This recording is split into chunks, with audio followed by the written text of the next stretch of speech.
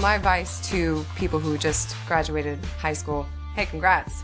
Well done. Take some time, take a break, and then get focused. You have to work hard and around the clock. And if you do, then you'll, you'll achieve whatever you want to. Clearly focus.